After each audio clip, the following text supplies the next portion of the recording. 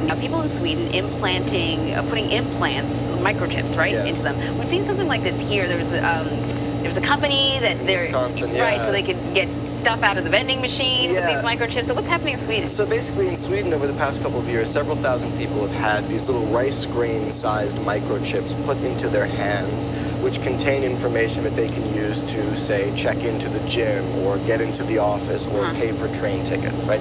So on the one hand, everyone can appreciate that that's convenient, right? How many times have you been looking for your key fob at the gym or can't remember Yeah. your password for something?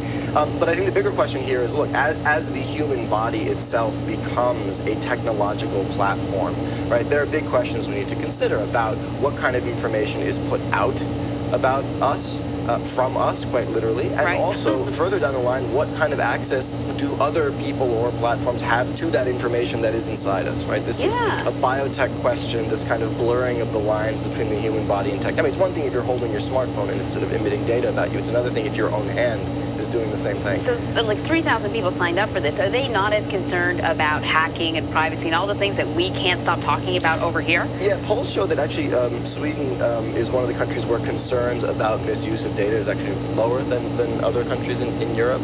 Um, but, uh, you know, we'll see. This is 3,000 people. This is a, a small experiment. It's been developing over the past several years. Um, but as the information that these microchips contains gets more elaborate and more detailed, uh, people may start to change their mind and, and demand more protection of their privacy.